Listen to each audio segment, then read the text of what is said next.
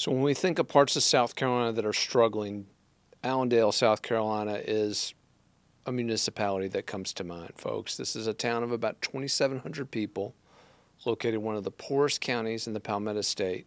Its population has shrunk by 20% over the last decade. It's a community in decline. Of the folks that are still there, about 38% are below the poverty line.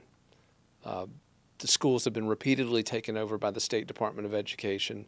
The State Law Enforcement Division is having to provide significant assistance to perform basic law enforcement functions. It's just a total disaster. And if you want to know why, we have a clip that I think might be instructive. This is an excerpt from the most recent Allendale Town Council meeting. Let's take a look. Mr. Carter, are you going to continue with the meeting or should we leave? That's your fault. Are you going to continue with this meeting? That's your fault. Now, when y'all get through telling me what to do and how to do it and when to do it, I'll proceed. I'll proceed. I'm trying to keep telling you what to do. Um, I would like to make a motion that we remove. Mayor Cohen as the, as the presider for the you can make all the continuation of this meeting. Okay? Now, Motion going to? Who's gonna carry that? Pro tem, Mayor Pro tem. Who's gonna carry?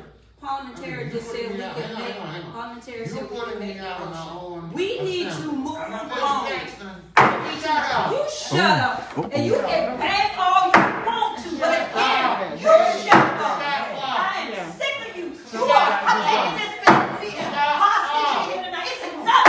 You shut the hell up. Shut up. It is enough of you. Up. This is ridiculous. Up. You need to shut up. Shut You up. are just taking this meeting hostage for no Shut reason. up. Look at the devil work. That's the devil work right there.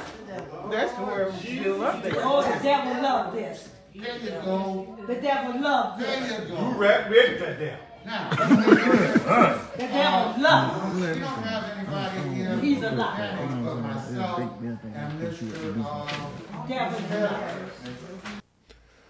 All right, so that's Mayor James Cohen with the gavel and Councilwoman Hattie Jackson being removed from the building. Now, what were they fighting about? I honestly don't know, and it's Allendale, South Carolina, so really, who cares, right? But, folks, if this is the quality of local governance, I would look for that next census to show a similarly steep decline in population, as well as probably a corresponding rise in the poverty level of those left behind.